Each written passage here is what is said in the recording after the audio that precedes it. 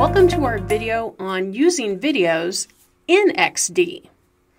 So I am using a free demo file from Howard Pinsky. If you are not following him, I would encourage you to do so. He does some great tutorials and, and great work within the UI UX space. So my goal for this is to replace this hero image with a video. Once we do that, we'll be able to adjust settings, trim our video, and even control how that playback works. So let's get in here and get started. And then I'm going to File, Import. And so I have a video already prepared for us that we're going to use. And I got this from Pexels. Pexels has uh, free videos and copyright free that you can use. Uh-oh. Well, that video is too large. And this is pretty common. So what we're going to do is switch over, as it recommends, to Media Encoder to fix this issue. So inside Media Encoder, and you can see I've already been playing with that same video. So we start by adding it to our queue. So we'll select that original video and hit open. And you always want to leave this H.264. And instead of the current ratio, which I believe is um, a 1080, if not a 4K video, we're going to switch that to 720. And really, for what we're doing with a mock-up, Either 720 or 480 will be fine. I would encourage you to kind of experiment with that. Um, I find 720 is a great balance between a smaller file size and giving me some good quality.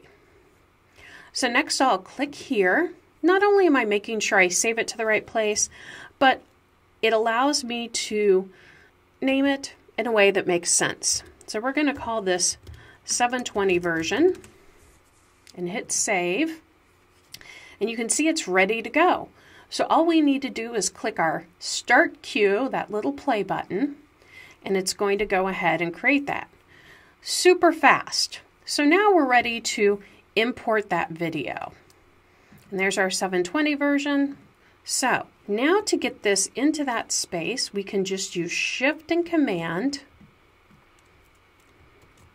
so now to get that into the space properly, we can just use shift, which is going to keep everything in proportion.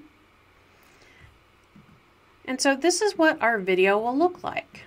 And so let's just move that up a bit.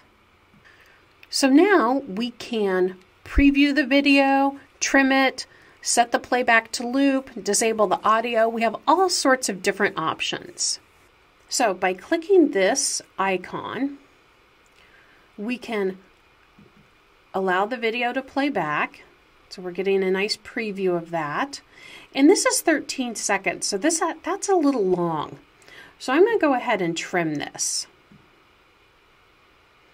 And so I think about right there is good.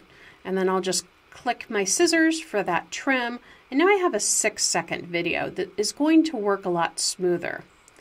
I can choose to loop the playback, which means that this will play as long as you're on this page. And I like that for this video. Next, I can decide how that's going to play back. In this case, I want it to play automatically. But you can also have it play on tap. And that can be an interesting feature as well. When you choose that play automatically, it automatically creates those prototypes and interactions for us. So there's our video and we need to move some things around just a little bit. So let's take this mask group and we're just going to move it right there. So now we can see everything in there and our whole video. So let's play this back. So a really cool addition to our mock-up here. So the last thing I'll mention is that really videos work a lot like photos inside of XD. So you can mask them just like I did. Uh, you can drag and drop them from your Finder window. But they really add a bit extra to your mock-ups. So have fun with those videos.